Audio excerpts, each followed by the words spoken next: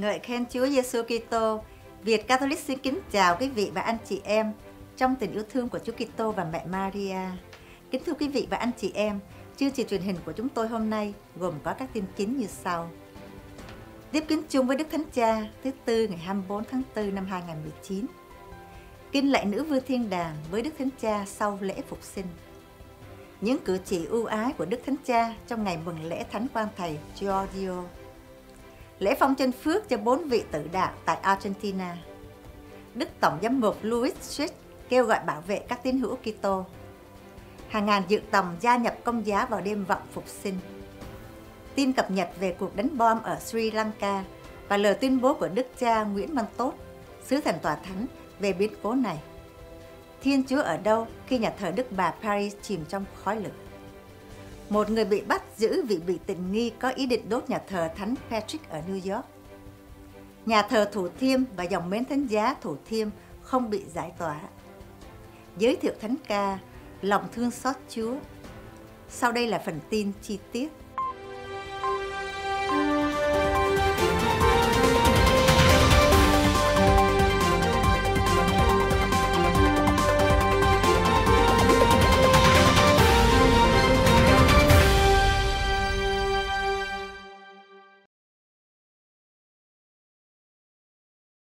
Tiếp kiến chung với Đức Thánh Cha thứ Tư ngày 24 tháng 4 năm 2019. Tin Vatican Trong buổi tiếp kiến chung sáng thứ Tư ngày 24 tháng 4 năm 2019, với hàng chục ngàn tín hữu tại quảng trường Thánh Phêrô, Đức Thánh Cha Francisco đã giải thích về lời cầu nguyện thứ năm trong kinh lạy cha, đặc biệt là lời nguyện xin như chúng con cũng tha kẻ có nợ chúng con. Đức Thánh Cha mời gọi các tín hữu hãy tha thứ và yêu thương như chúng ta đã được Thiên Chúa thương yêu và thứ tha. Bắt đầu bài giáo lý, Đức Thánh Cha nhắc lại rằng chính con người là những kẻ mắc nợ Thiên Chúa, bởi vì chúng ta nhận mọi sự từ Chúa, từ những điều tự nhiên đến các ân sủng. Không có một giáo hội do con người tự tạo nên, không có những con người tự hiện hữu. Tất cả chúng ta là người mắc nợ Thiên Chúa và mắc nợ tha nhân, những người đã tạo nên những điều kiện sống thuận lợi cho chúng ta. Căn tính của chúng ta được hình thành từ những điều thiện hảo mà chúng ta nhận được. Chúng ta vẫn luôn có một khoản nợ mà chúng ta sẽ không bao giờ có thể trả được. Đó là người yêu chúng ta vô cùng, nhiều hơn chúng ta yêu người. Vì thế, chúng ta phải luôn biết xin tha thứ. Lạy Chúa Cha, xin tha các nợ của chúng con. Đức Thánh Cha nói thêm, lời cầu nguyện này có thể dừng lại ở phần thứ nhất này với lời xin tha các nợ của chúng con. Nhưng Chúa Giêsu củng cố lời cầu xin này bằng phần thứ hai. Như chúng con cũng tha kẻ có nợ chúng con. Mối quan hệ của lòng nhân từ theo chiều dọc của Thiên Chúa được chuyển thành một mối quan hệ mới mà chúng ta sống với anh em của mình. Mối liên hệ theo chiều ngang.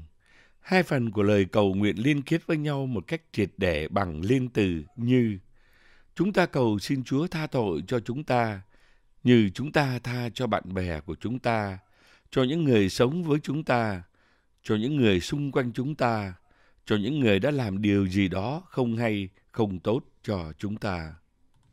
Trong phần kết luận, Đức Thánh Cha chia sẻ rằng Thiên Chúa ban ơn cho mọi Kitô hữu để viết một câu chuyện hay trong cuộc sống của anh em mình – đặc biệt là những người đã làm điều gì đó khó chịu và sai trái. Với một lời nói, một cái ôm, một nụ cười, chúng ta có thể truyền lại cho người khác điều quý giá nhất mà chúng ta đã nhận được. Đó là sự tha thứ, ơn mà chúng ta cũng có thể trao cho người khác. Sau bài huấn dụ, Đức Thánh Cha đã chào thăm và ban phép lành cho mọi người. Kinh lạy nữ vương thiên đàng với Đức Thánh Cha sau lễ phục sinh. Tin Vatican Vào lúc trưa thứ hai ngày 22 tháng 4 năm 2019, Đức Thánh Cha đã chủ sự kinh lạy nữ vương thiên đàng với hàng chục ngàn tín hữu tại quảng trường Thánh Phêrô. Ngài kêu gọi mọi người hãy đích thân gặp gỡ Chúa phục sinh và trở thành chứng nhân loan báo về Chúa. Đồng thời Ngài cũng chia buồn một lần nữa về vụ khủng bố tại Sri Lanka. Trong bài huấn dụ ngắn, Đức Thánh Cha nhắc lại đoạn tin mừng, thuật lại cảnh tượng Chúa Giêsu hiện ra với các phụ nữ đến viếng mộ người. Người xua đuổi sợ hãi khỏi tâm hồn các bà và khuyến khích họ hãy loan báo cho các anh em những gì đã xảy ra. Tất cả các sách tin mừng đều làm nổi bật vai trò của các phụ nữ, bà Maria Magdala và những bà khác như những nhân chứng đầu tiên về sự sống lại. Còn những người đàn ông thì sợ hãi, ẩn náu trong nhà tiệc ly. Khi Phêrô và Gioan được bà Madalena báo tin, các ông đã mau lẹ chạy đến và nhận thấy ngôi mộ mở toang và trống rỗng. Và Đức Thánh Cha nói, anh chị em thân mến, những lời Chúa Giêsu nói với các phụ nữ là đừng sợ, hãy đi và loan báo.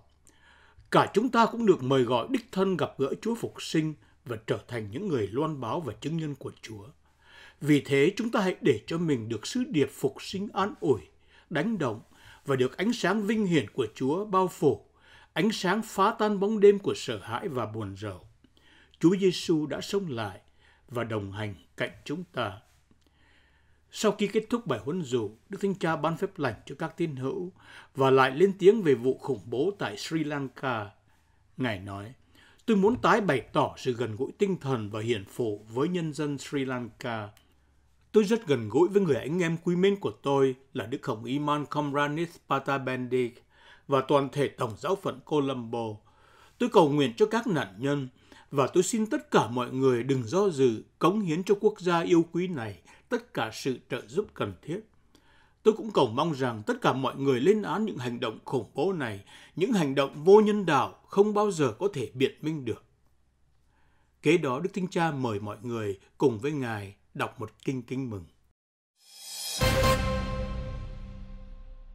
Những cử chỉ ưu ái của Đức Thánh Cha trong ngày mừng lễ Thánh Quang Thầy Giorgio.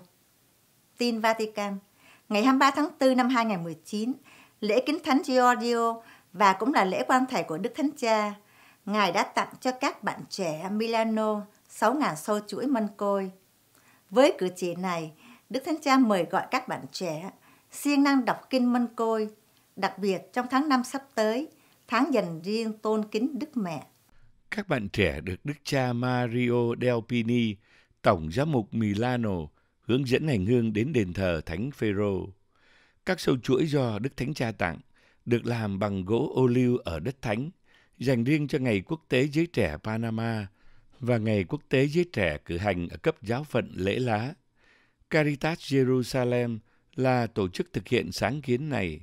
Đây chính là cơ hội để tạo việc làm cho những người nghèo, các gia đình của các tù nhân, người tị nạn.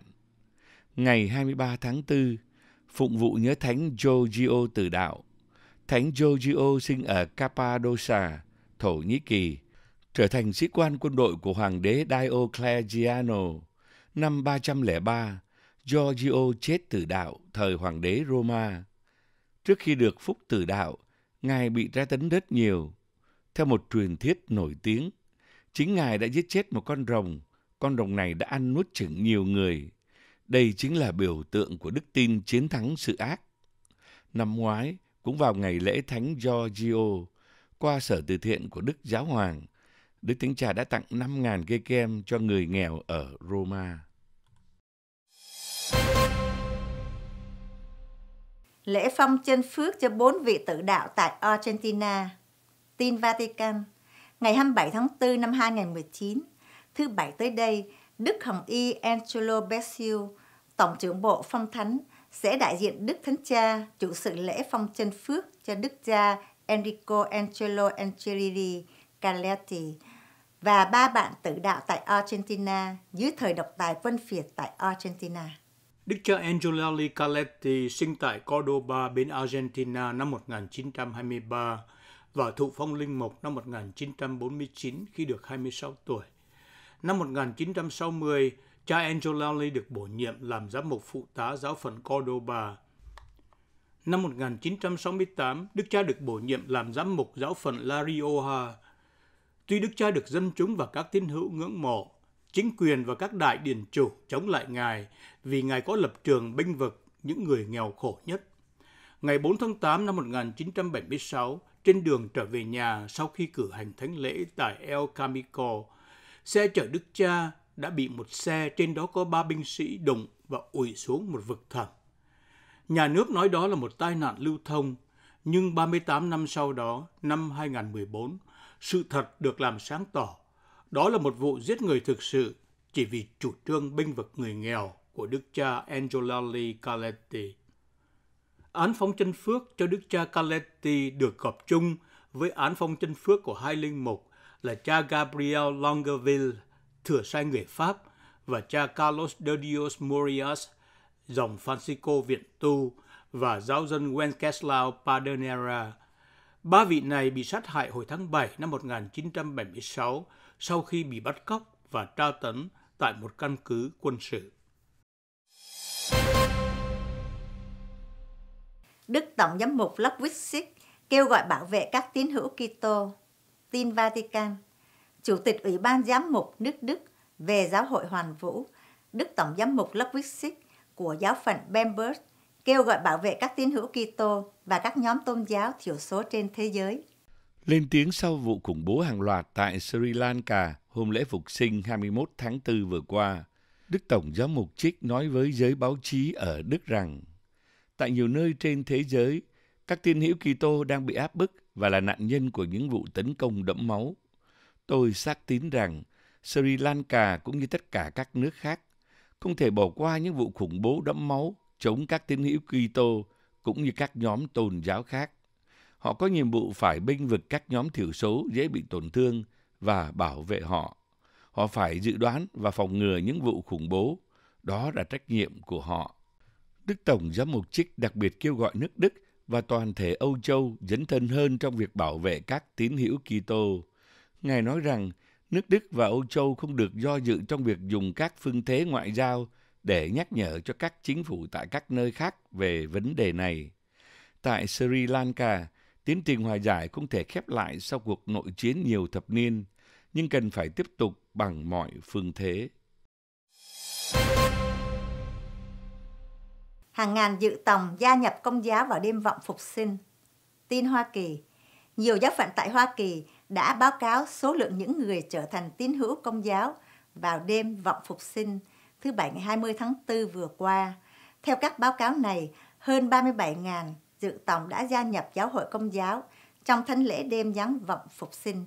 Đây là nghi thức gia nhập quy tô giáo cho những người trưởng thành. Có hai nhóm người khác nhau được gia nhập giáo hội công giáo. Các anh chị em dự tòng, những người chưa bao giờ được rửa tội, đã lãnh nhận bí tích rửa tội, thêm sức và rước lễ lần đầu trong đêm vọng phục sinh vào thứ Bảy 20 tháng 4.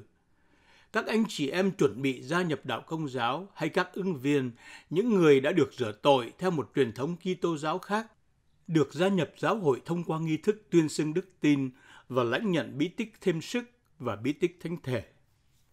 Đêm vọng phục sinh tôn vinh cuộc khổ nạn, cái chết và sự phục sinh của Chúa Giêsu Kitô trong khi mọi người có thể trở thành tín hữu công giáo vào bất cứ dịp nào trong năm, thì đêm vọng phục sinh chính là thời điểm đặc biệt thích hợp để các anh chị em dự tòng được rửa tội và các Kitô hữu đã được rửa tội được hiệp thông trọn vẹn với giáo hội công giáo.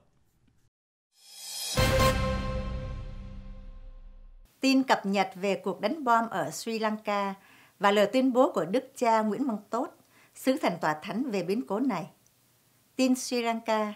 Như báo chí thế giới đã loan tin, trong những ngày qua, 8 vụ khủng bố đã xảy ra hầu như đồng loạt vào Chúa Nhật Phục sinh ngày 21 tháng 4 vừa qua tại Sri Lanka, thường được gọi là Tích Lan. Một số nhà thờ Kitô giáo và khách sạn là mục tiêu của các cuộc tấn công này. Chúng tôi xin cập nhật các tin liên quan đến cuộc tấn công này. Có tất cả là 8 vụ đánh bom.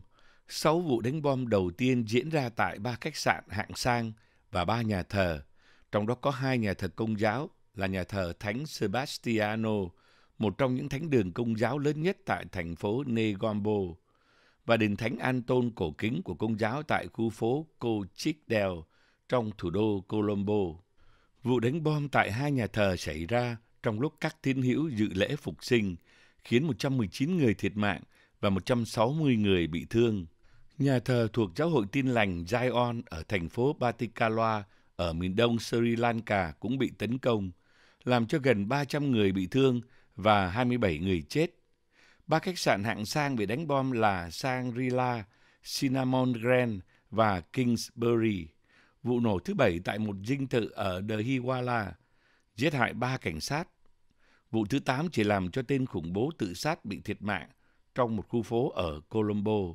Số các nạn nhân của loạt khủng bố này lên tới 310 người, trong đó có ít nhất là 36 người nước ngoài và 500 người bị thương. Cho đến hôm 23 tháng 4 2019, cảnh sát Sri Lanka đã bắt giữ 40 người để điều tra. Chính phủ Sri Lanka nghĩ rằng thủ phạm các vụ khủng bố này là nhóm thánh chiến Hồi giáo Sinhalese, tên là National Tawhid Jamaat, gọi tắt là NTJ. Trong lúc đó, nhóm khủng bố ISIS nhận họ đã chủ mưu cuộc đánh bom này, nhưng không trưng ra bằng chứng. Sau cuộc khủng bố, chư tăng Phật giáo đã đến nhà thờ thăm hỏi và chia buồn với người công giáo Sri Lanka. Các vị lãnh đạo liên tôn gồm công giáo, Phật giáo và Hồi giáo cũng đã họp khẩn cấp để tìm cách hòa giải những xung đột tại quốc gia này. Trong cuộc gặp gỡ với báo chí sau cuộc họp, Đức cha Nguyễn Văn Tốt, sứ thần tòa thánh từ 5 năm nay tại Sri Lanka tuyên bố tất cả các vị lãnh đạo các tôn giáo đều sẵn sàng hợp tác với nhau trong việc tìm kiếm một giải pháp thực tiễn để đem lại bình an cho đất nước. Thiên Chúa ở đâu khi nhà thờ Đức Bà Paris chìm trong khói lửa? Trận hỏa hoạn đau lòng tại nhà thờ Đức Bà ở Paris dường như khiến cả thế giới bàng hoàng. Bước vào những ngày đầu của tuần thánh, trong khi các Kitô hữu trên toàn thế giới đang cùng nhau sống hiệp thông trong mầu nhiệm của cuộc thương khó. Cái chết và sự phục sinh của Chúa Giêsu thì cảnh tượng xảy ra tại nhà thờ Đức Bà Paris trên hệ thống truyền hình đã quá sức chịu đựng và tôi phải thú nhận rằng tôi đã khóc khi nhìn thấy ngôi nhà thờ cổ kính kia bị thiêu rụi trong khói lửa. Đó là đoạn mở đầu của một video clip dưới tờ đề Thiên Chúa ở đâu khi nhà thờ Đức Bà Paris chìm trong khói lửa của linh mục James Martin đang được phổ biến rộng rãi trên mạng YouTube. Nội dung của video clip này nói lên những suy tư về vụ hỏa hoạn thương tâm tại nhà thờ Đức Bà Paris, đặt trọng tâm vào hai câu hỏi Chúa ở đâu tại Paris và làm thế nào chúng ta có thể tìm thấy hy vọng giữa sự hủy diệt. Linh mục James J. Martin, S.J. là một linh mục dòng tên người Mỹ, một nhà văn và là tổng biên tập của tạp chí dòng tên Mỹ. Vào năm 2017, Đức Giáo hoàng Francisco đã bổ nhiệm linh mục Martin làm cố vấn cho ban thư ký truyền thông của Vatican. Sau đây là một vài trích đoạn khác từ video clip của cha Martin dưới tờ đề Thiên Chúa ở đâu khi nhà thờ Đức Bà Paris chìm trong khói lửa. Đám khói bốc lên, ngọn lửa vụt ra từ mái nhà gỗ. Và trong thời khắc kinh hoàng đó, thật khó cho nhiều người trong chúng ta không nghĩ đến sự đau khổ và cái chết của Chúa Giêsu.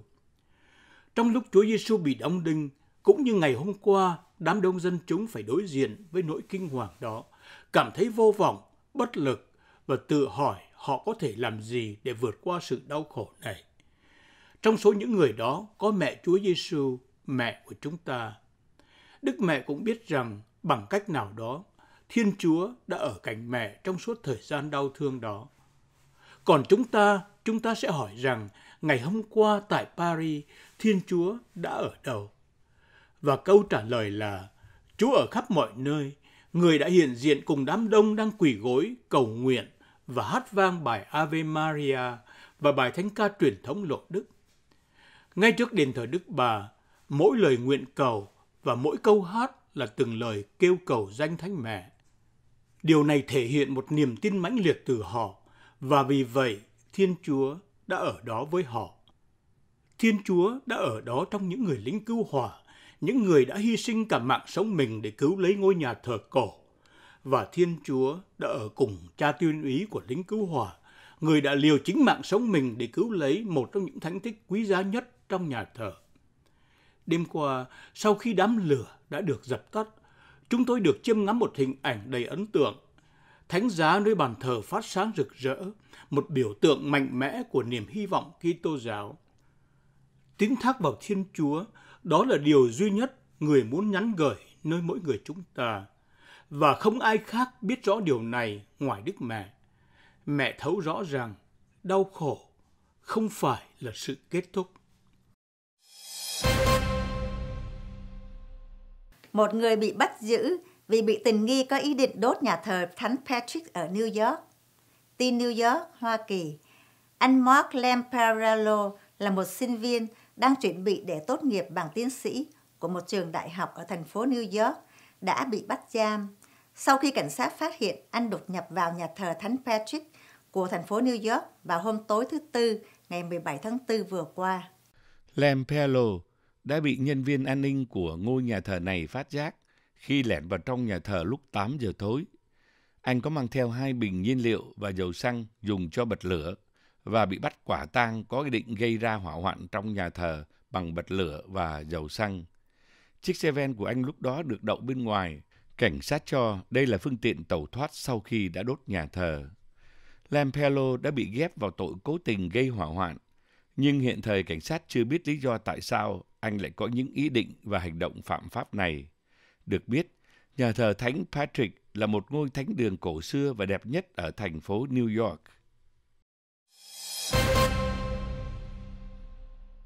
Nhà thờ Thủ Thiêm và dòng mến thánh giá Thủ Thiêm không bị giải tỏa. Tin Việt Nam Vào cuối thánh lễ truyền dầu ngày 18 tháng 4 năm 2019, Đức Giám mục Giám quản Tổng giáo phận Sài Gòn đã công bố ngày thứ ba 21 tháng 3 2019 vừa qua, Ban dân vận thành ủy đã đến tòa Tổng giám mục Sài Gòn gặp Đức cha giám quản du xe Đỗ Mạnh Hùng và cha tổng đại diện Inesio Hồ Văn Xuân để thông báo hai điểm. Điểm 1. Lãnh đạo thành phố Sài Gòn đã có chủ trương giữ lại nhà thờ Thủ Thiêm và dòng mến thanh giá Thủ Thiêm như là một di tích văn hóa lịch sử. Điểm 2. Đề nghị Tòa Tổng Giám mục đề cử một đại diện làm việc với các cơ quan liên hệ để trao đổi và tiến hành các bước cần thiết cho việc thực hiện những chủ trương trên. Đức cha giám quản Đỗ Mạnh Hùng đã đề cử cha tổng đại diện Inacio Hồ Văn Xuân, đại diện tòa tổng giám mục để gặp gỡ trao đổi với các cơ quan và ban ngành liên hệ của chính quyền. Kính thưa quý vị và anh chị em, trước khi kết thúc chương trình Thời sự Giáo hội và Thế giới ngày nay, chúng tôi hân hạnh giới thiệu một bài thánh ca mang tựa đề Lòng thương xót Chúa của nhạc sĩ Viễn Sứ. Bài thánh ca này sẽ được trình bày qua tiếng hát của ca sĩ Kim Thúy. Kính mời quý vị và anh chị em cùng thưởng thức.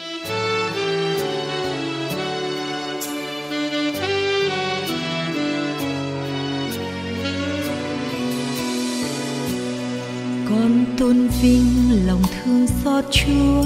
Con ca khen lòng thương xót chúa. Tình thầm giá trong cuộc khổ đau là nguồn suối tuôn ban hồng ân.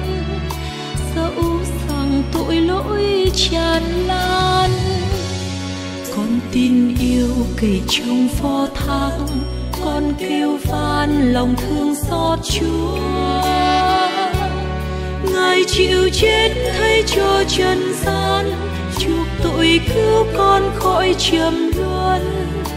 Xin ngài xót thương con xin ngài đời chúa chúa ơi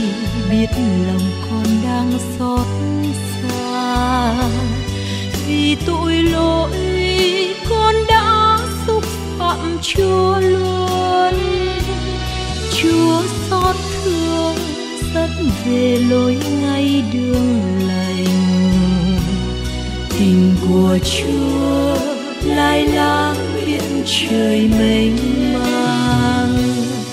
Con tôn vinh lòng thương xót chúa, con ca khen lòng thương xót chúa. Tình thật giá trong cuộc khổ đau là nguồn suối tuôn ban hồng tràn lan. Con tin yêu kể trong phó thác con kêu van lòng thương xót chúa. Ngài chịu chết thay cho trần gian chuộc tội cứu con khỏi trầm luân. Xin ngài xót thương con. Xin ngài lúc khó nguy gian chuôn lẻ loi.